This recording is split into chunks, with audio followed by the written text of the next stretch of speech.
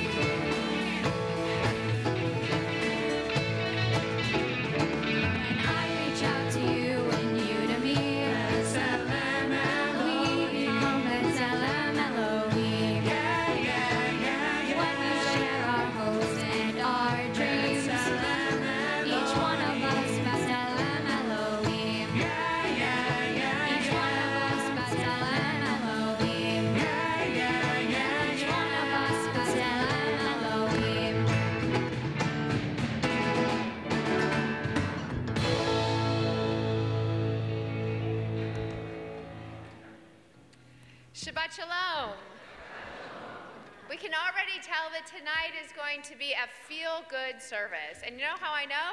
Because I already feel so good. It is so wonderful to have our Teen Tefillah team with us here tonight, and Jacob Kraus and his wonderful band, and oh, Oa Cantor, too. This is great. And so, to welcome Shabbat, we'd like to invite Debbie Binder to come forward for the lighting of the candles as we turn to page 13.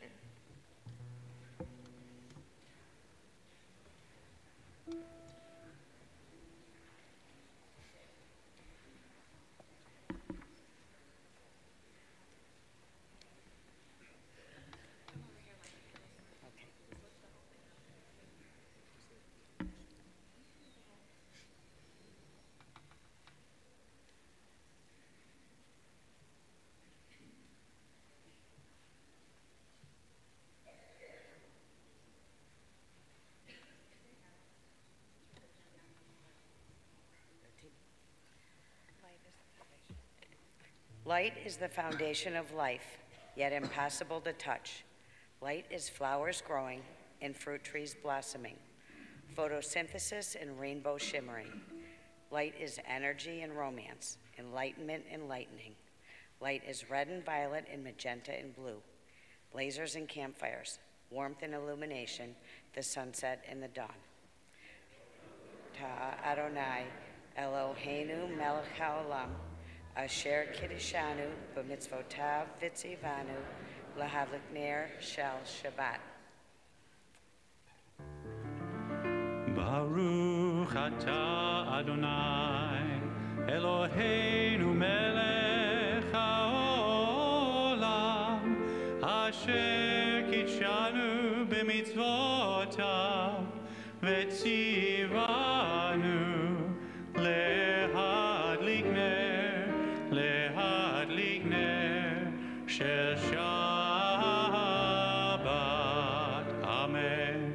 turn to page 34 for Lechadodi.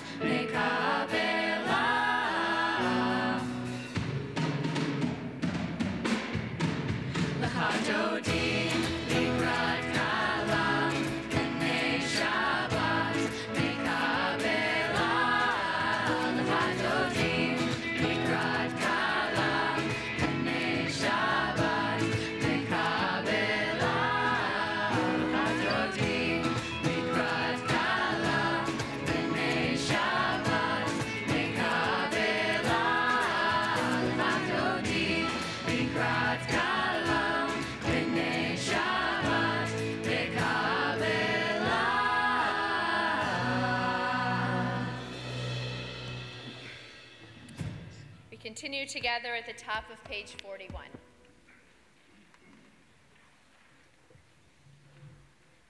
We give each other hints in smiles and glances, in loving words, in sharp reminders. We give each other hints, knowingly or unknowingly, in great thunderclaps or in still small voices. We give each other hints in these bonds of family, in these gifts of friendship,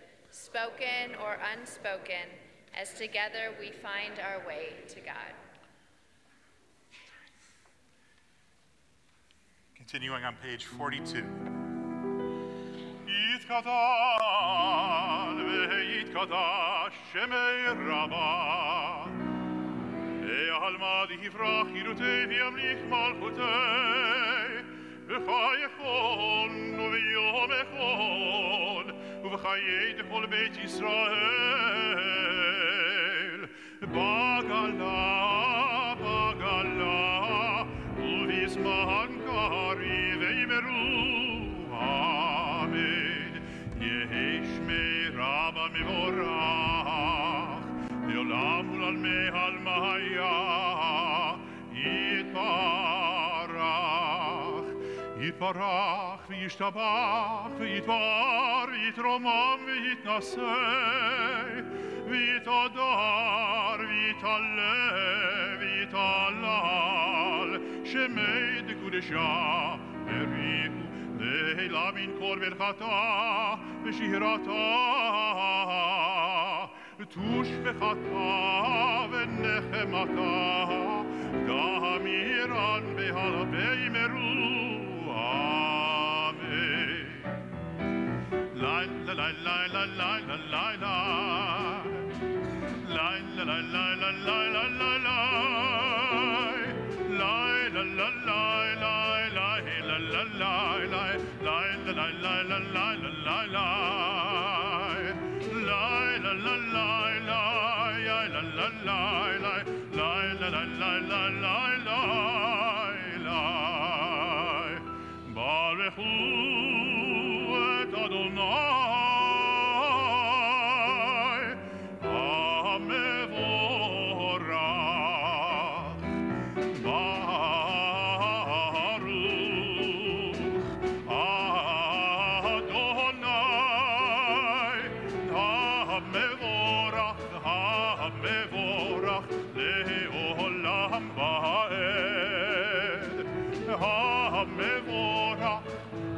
memora leolam vaed. We turn to the middle of page 46. Just as the hand held before the eye can hide the tallest mountain, so the routine of everyday life can keep us from seeing the vast radiance and secret wonders that fill the world. Baruch Ata Adonai, Hama'ariv Aravim. Blessed are you, O God, who makes the evening fall. And then on page 49, we are loved by an unending love. We are guided by the still small voice within us. We are loved by an unending love. A ner tamid to be tended from generation to generation. And a gentle love. Giving meaning to our existence, structure to our lives. And of all the generations who have embraced their covenant.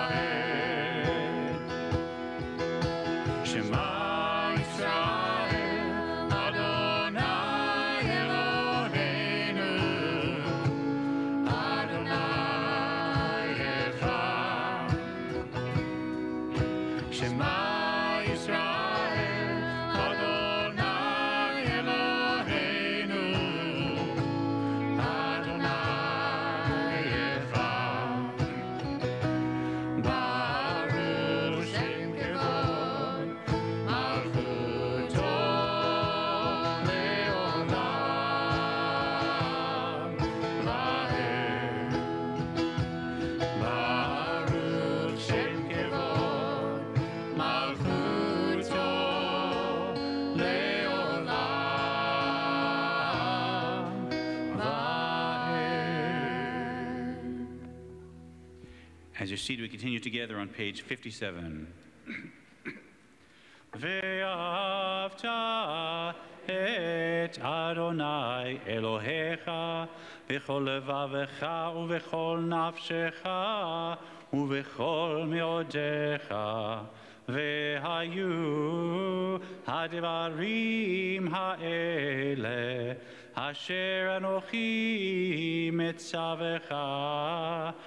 היום על לבביך ושיננתם לבניך ודיברת בם בשבתך בביתך ובלכתך בדרך ובשוכבך ובקומך וקשרתם לאות על ידיך והיו לטוטפות בין עיניך וכתבתם על מזוזות ביתך ובישעריך למען תזכרו ועשיתם את כל מצוותיי והייתם קדושים לאלוהיכם.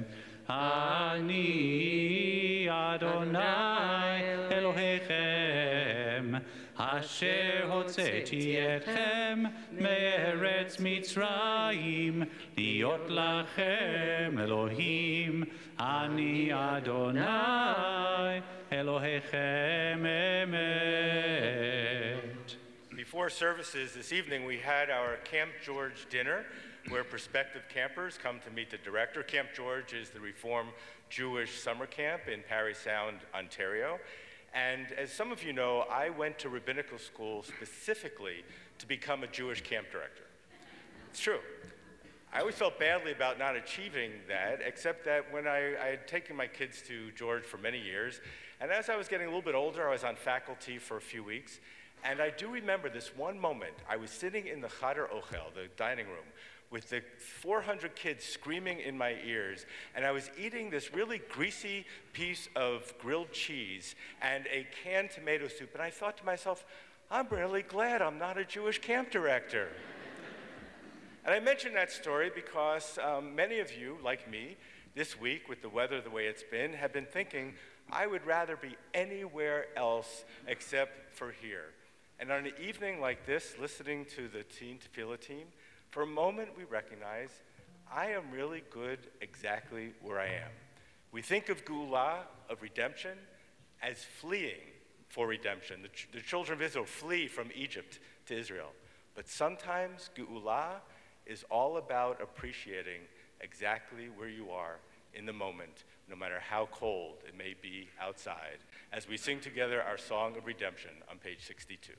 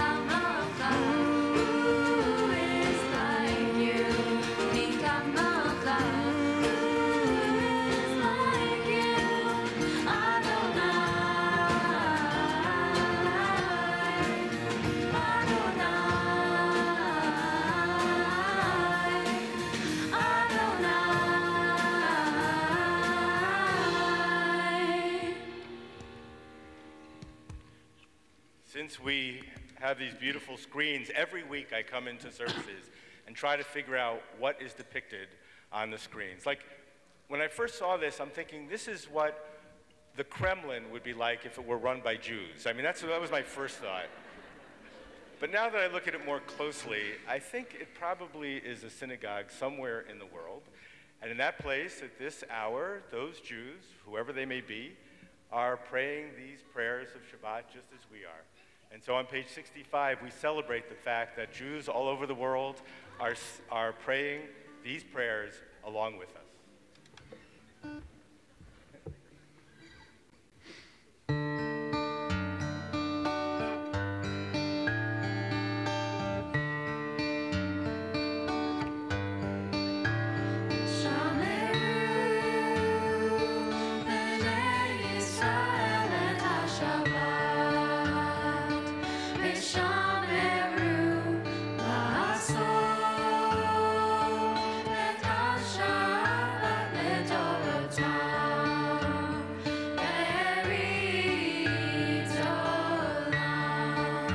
With us. Just pick a part and join in. Mishamer, Mishameru,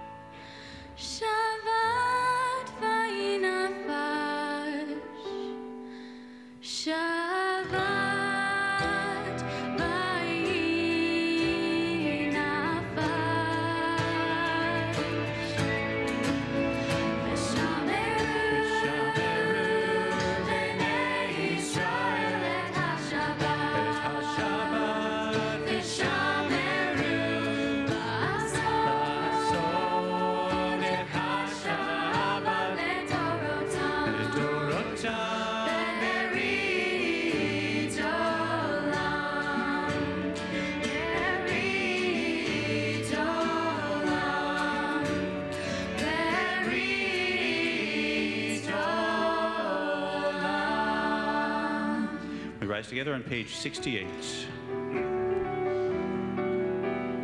Adonai, sifatai tiftahu fi tehilatecha. Eternal God, open my lips that my mouth may declare your glory. Baruch atah Adonai, Eloheinu, Elohei avotenu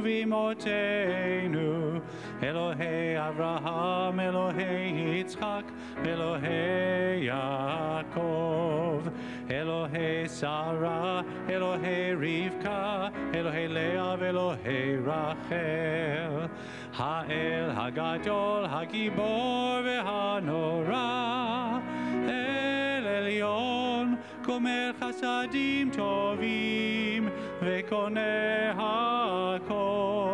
וזוכה חסדי אבות ואימהות ומביא גאולה לבני בניהם למען שמו באהבה מלך עוזר ומושיע ומגן ברוך אתה אדוני מגן אברהם בעזרת שרה. אתה גיבור לעולם אדוני, מחיה כל התערב להושיע.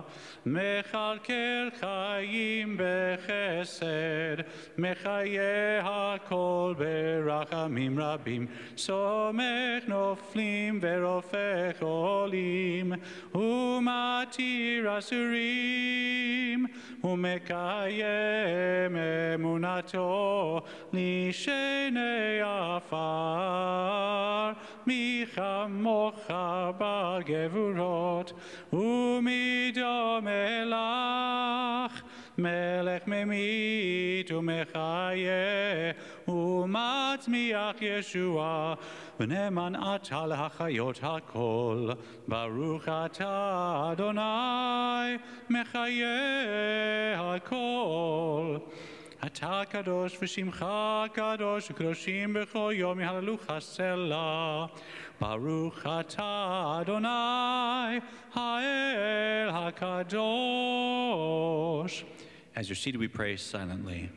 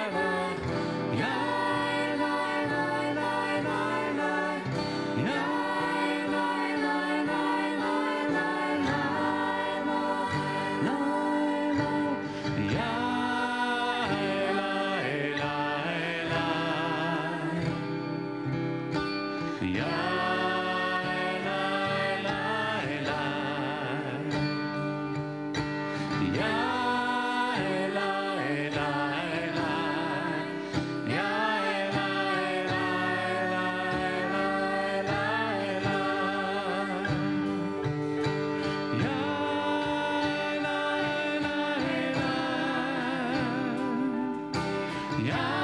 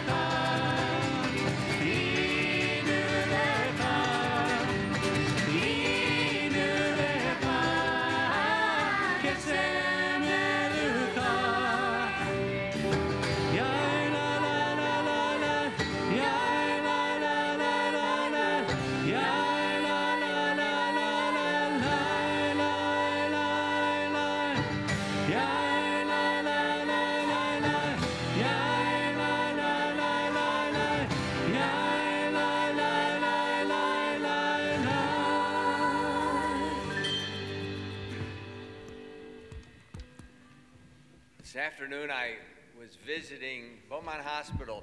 I have a very special friend, and I visit him regularly when he's in the hospital. He's an elderly gentleman, and he's been in the hospital for quite a while now, and he's been waiting for a test.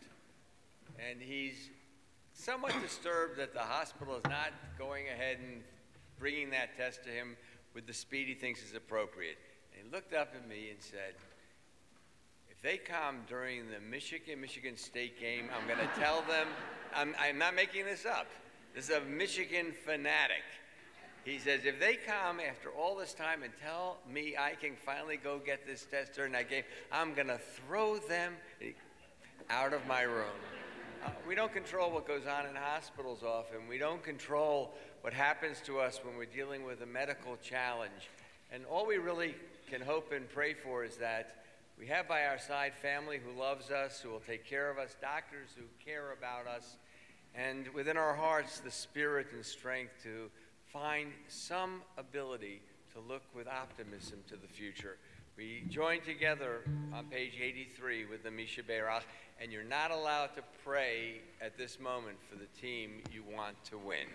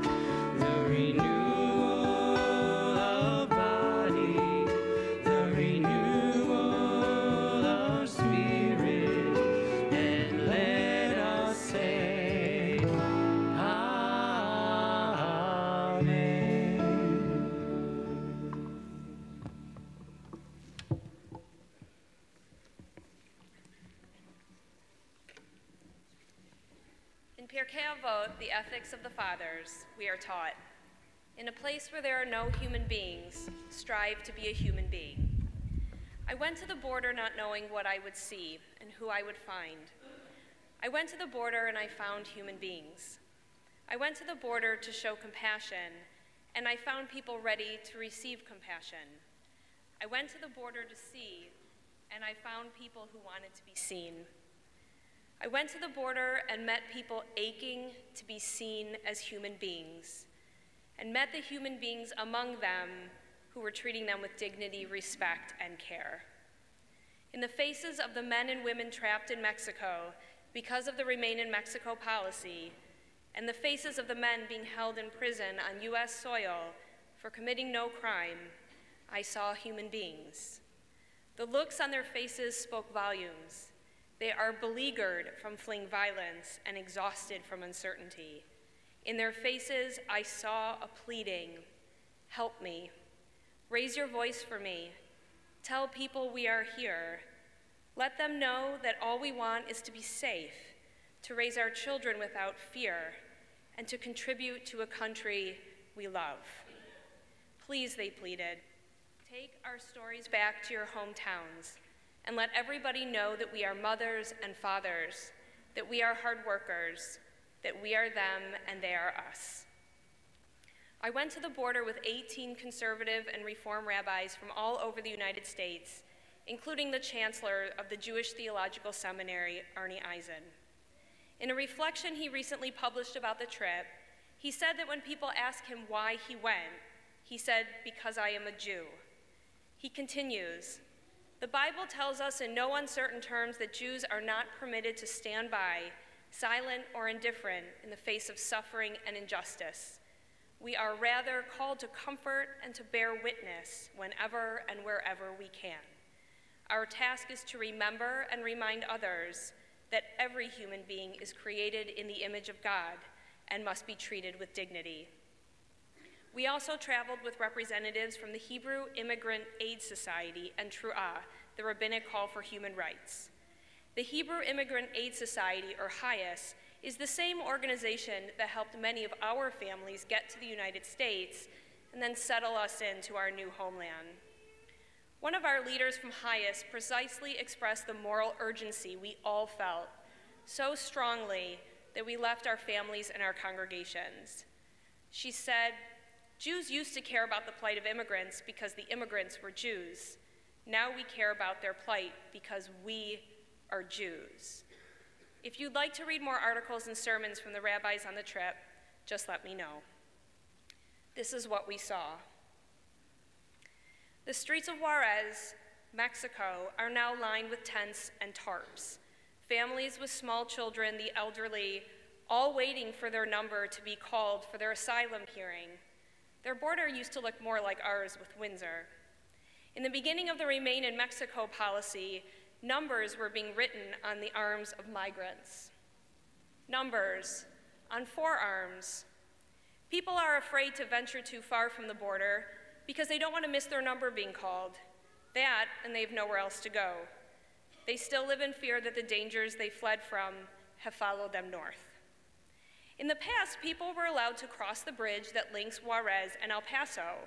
Migrants would surrender themselves to the Border Patrol, and they would be released knowing they had to appear for a hearing in the town where they had a sponsor or in El Paso where they entered. The argument to end this practice was that people didn't show up for their hearings, that they disappeared into the United States. The truth is, 87% of people show up for their hearings. But now the migrants are barred from stepping on U.S. soil, so they can't even begin the process of claiming asylum.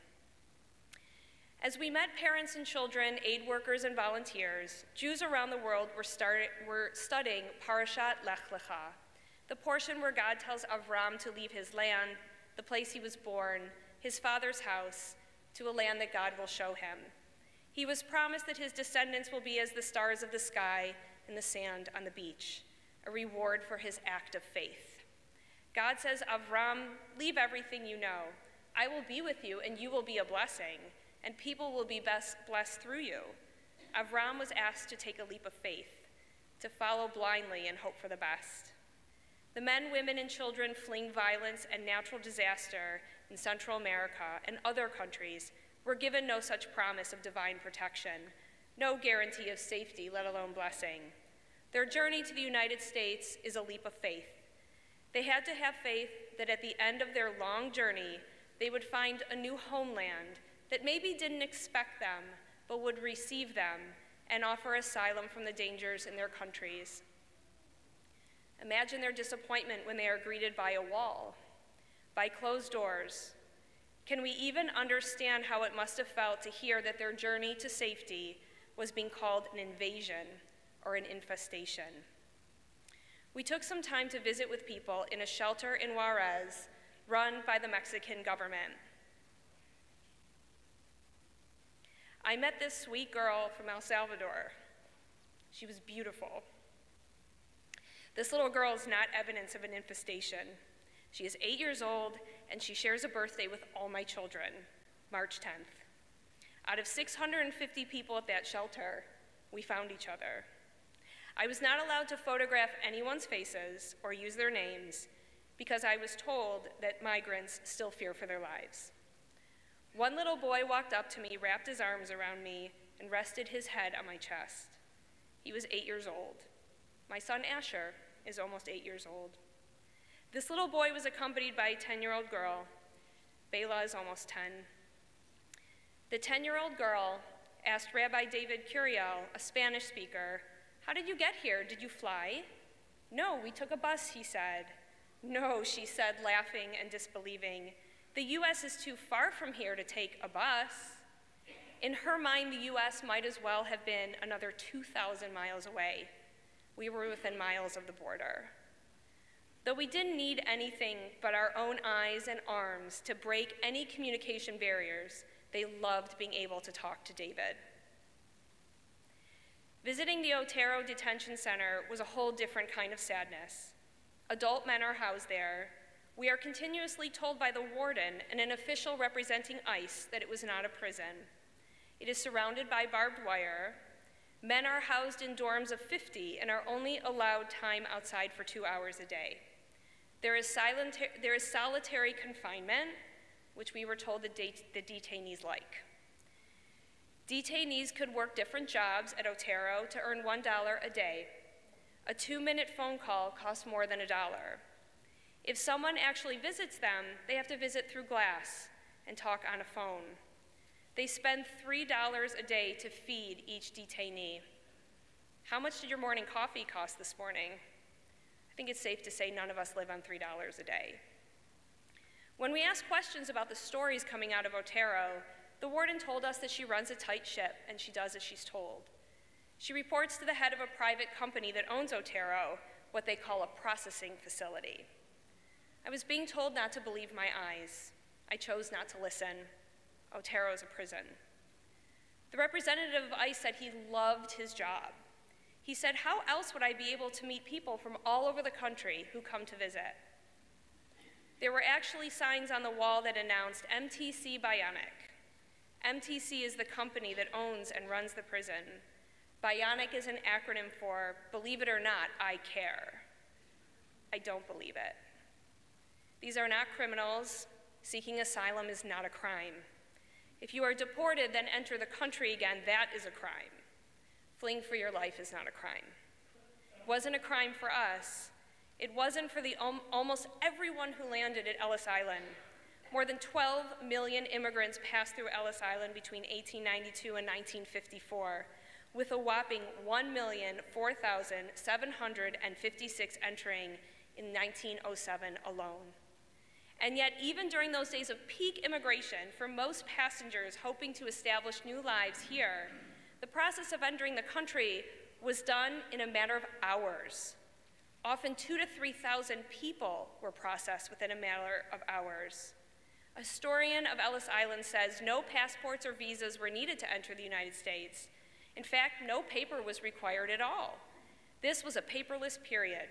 All you had to do was verbally give information to the official when you boarded the ship in Europe, and that information was the only information used when you arrived. Some people were denied entry, they could appeal, but it amounted to less than 2% of those who washed up on our shores. Basically, if you didn't have smallpox, pink eye, yellow fever, or the plague, you were allowed to enter within a few hours. Asylum claims in El Paso are denied at the rate of over 97%. And if you are among the lucky 3% that get, gets to claim asylum, that's just the first step. There is no guarantee asylum will be granted. And of roughly 15,000 cases seen last year, only 300 people had lawyers. I'm not advocating for open borders. I am asking that we remember our own stories and realize that the paperless system we benefited from was the luckiest clerical error ever made in history. I'm advocating that we work to fix a broken system that is blaming numbers for its cruelty and its inadequacy. I'm asking you to see human beings. At the border, where there are human beings, I'm asking you to see human beings. There are ways to help. You can support HIAS and Tru'ah. Look out for our forthcoming support for Bethany Christian Services in Grand Rapids. They are housing teens who have come to the U.S. alone and need fostering. We are going to work with them so that hopefully some of you or someone you know might open your doors to them. Most of all, use your voice to give these men, women, and children a voice. Help fix our broken system through local government and lobby your senators. Realize that your American passport is the key to the world. It is a symbol of freedom and safety that none of us should take for granted, but many of us do. I am honest and I can say I did. I don't anymore. American citizenship is a dream realized for all of us and is still a dream for so many millions around the world. This was on the wall at the Migration Center, made by a child who has obviously received the message that her circumstances are sending, and in defiance writes, Ningún ser es illegal. No human being is illegal.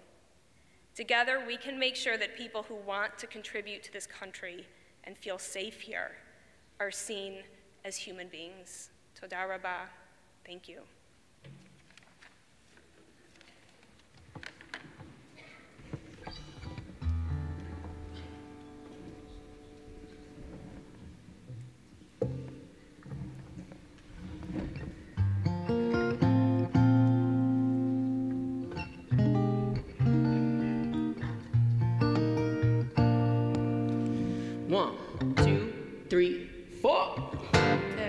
Lights on a Friday night, warm bread and a cup of wine. What a way to bless the day. The the whole world over. Three stars and a quick amen. Next week, do it all again. A melody's connecting me to my global community.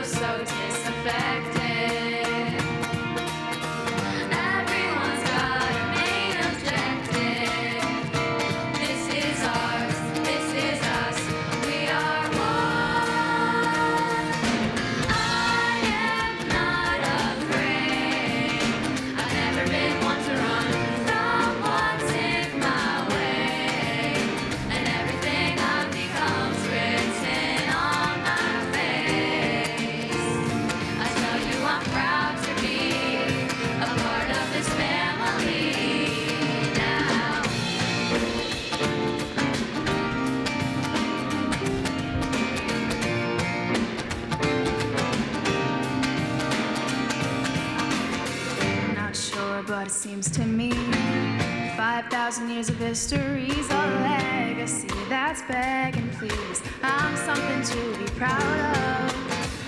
And every time we say la door by door, we take the sequence and we add one more a link in the chain of face to the name.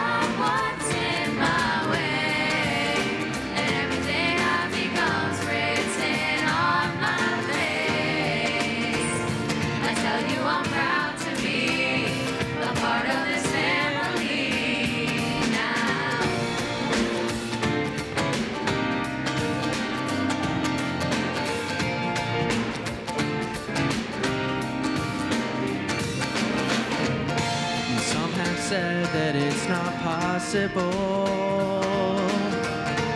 Peace will always face an obstacle. But there's no problem so unsolvable. This is ours, this is us, we are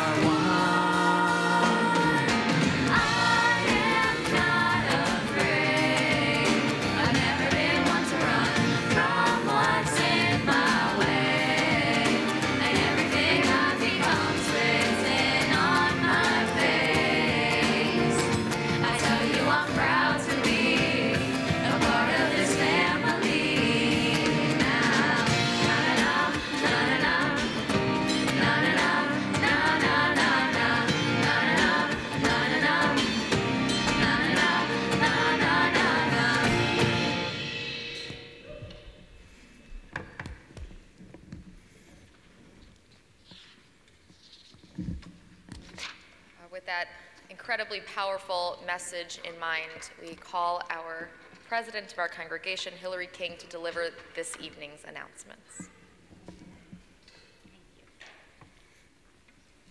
Wow, the five of you, thank you for bringing your beautiful, youthful voices here. We're proud you're part of our family.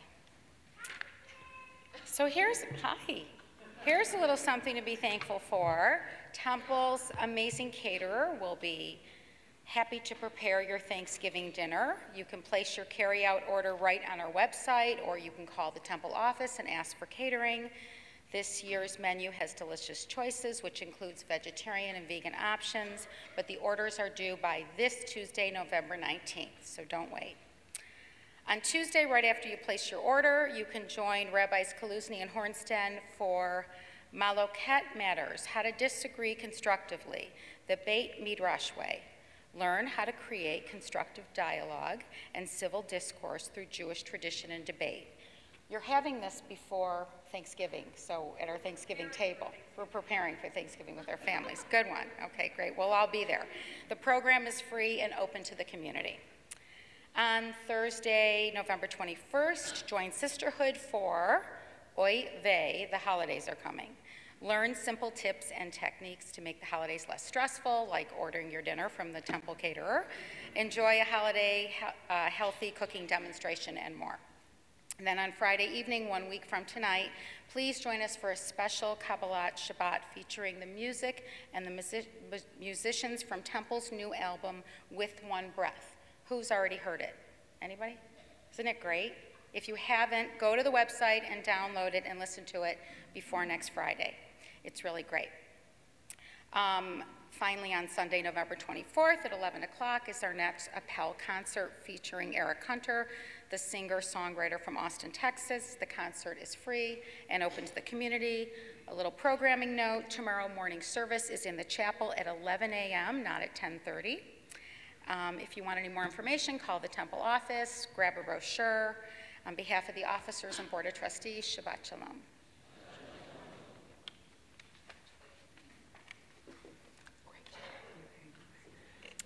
The honor of opening our Ark this evening, uh, speaking of our grand country, our country grounded in freedom and wonder, uh, it's my pleasure to invite up Lydia Mobley, um, someone important to our congregation who's shipping off this week as she's volunteering for the Naval Reserves.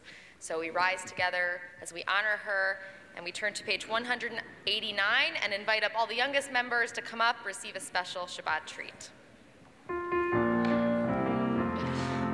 עלינו לשבח לאדון הכל, לתת גדולה ליוצא בראשית, שלא עשנו כגויי הרצות, ולא שמנו כמשפחות אדמה, שלא שם חלקנו כהם, וגורלנו ככל המונם. ואנחנו קוראים ומשתחווים ומודים לפני מלך מלכי המלכים הקדוש ברוך הוא ונאמר והיה אדוני למלך על כל הארץ ביום ההוא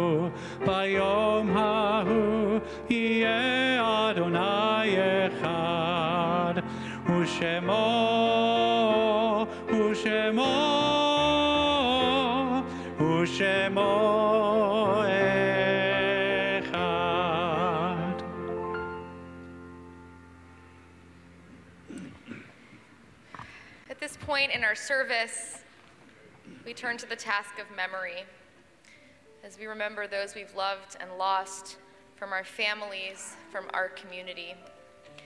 Tonight, we remember names of people we love who've died in the last 30 days in the period of Shloshim. We remember Myrna Bradley.